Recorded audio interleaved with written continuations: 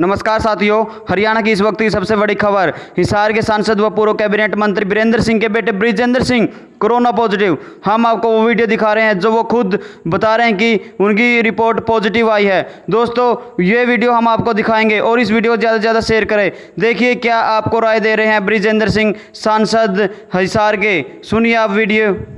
नमस्कार साथियों जैसे मैंने आपको कल सूचित किया था कि मुझे दो दिन से बुखार आ रहा था और कल उसका कोरोना का टेस्ट किया गया, जिसकी आज रिपोर्ट आ गई है और उसमें मैं कोरोना पॉजिटिव की मेरी रिपोर्ट आई है।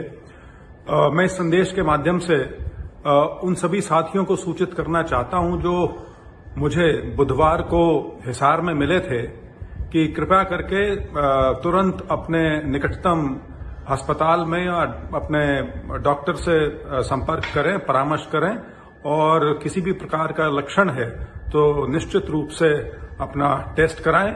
और मेरा बाकी सभी लोगों से भी ये अनुरोध है, हाथ जोड़ के, कि कोरोना की महामारी को हल्के में ना लें सचेत रहें, और जो फ़िज़िकल डिस्टेंसिंग के, मास्क पहनने के और साबुन से हाथ धोने के जो जो तीन चीज़ें जो हैं इसके बचाव के लिए, उनका सख्ती से पालन करें।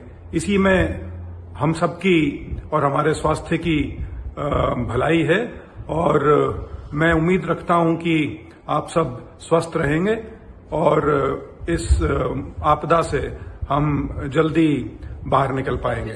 धन्यवाद।